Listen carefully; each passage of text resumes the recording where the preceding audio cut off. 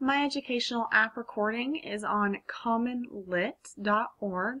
Um, this website is designed to pair text with reading levels and themes and state standards um, so students can learn more about them and teachers don't have to find them on their own. So it's really useful. So right now I'm logged in as a teacher and um, over here in your profile you can um, see your classes. So what you do is you make, um, well, if it's going to work, there you go. Uh, you make a class um, for each of the periods that you teach, and then you have students um, who sign up for them. So you see here I teach five classes. I have five classes signed up, and I only have students in this one here, junior high history. Um, they sign up via a unique link or class code. Um, so you can find assignments that are appropriate for them. Um, so we'll get back to this page, but so let's say we're doing a unit on World War One in history, uh, which is something that we did not too long ago. And I want to bring in some things from English, and I want my junior hires to focus on theme. Um, so I think I want them to read the poem Flanders Fields, but it's not in our textbook. So I'm going to search it. You can see I've already done this today. Uh, the internet's kind of slow today because of the weather.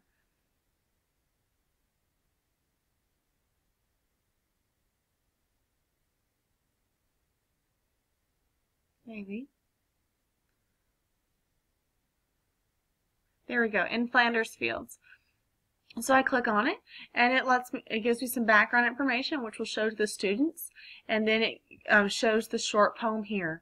These numbers, they correspond to their definitions and further explanation and students can also, um, they have questions that they have to respond to. So question one is which statement best describes the scene depicted in stanza one? And so students get to pick. Okay, so incorrect answer. Um, so students get to um, pick the answer, things like that. Um, if I want to put something else with this, it gives me the option of paired text, other texts that it thinks are appropriate to go with this poem, also media.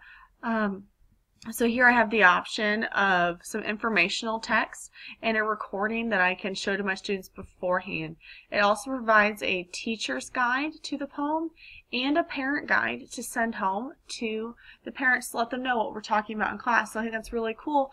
But I can also, so I've assigned this poem to my students and I want them to read it. See, I want them to read it in junior high history, and I've added something, I've added some informational text as well. Um, so you can see that it's assigned. So I'm going to show you what it looks like from a student point of view. Here we go. I am logged in as a fake student.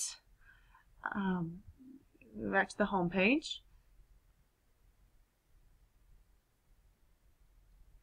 And so assignments. It says, oh look, these assignments are due, I said they're due April 28th, and I'm going to start with Flanders Fields first.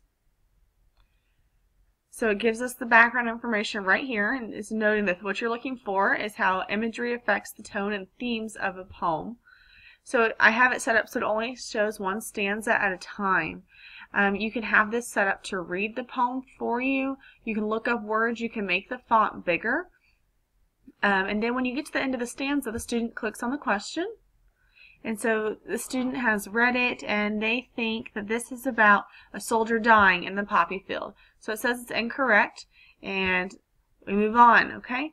So, and then after you answer the question, um, new ones come up. So what's cool about this as a teacher, let me move back to the teacher view, is I can see student progress. Right now it says that no one's done anything because I just started this, but you can track student progress and you can grade assignments straight from this app. So not only are you getting interdisciplinary units, but you're also able to see how students are performing. You can give them feedback. Um, I wish I had known about this sooner in my classes. I like that it's not just tied to English.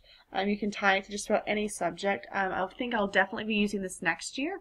But um, So this is really emphasizing literacy across the board.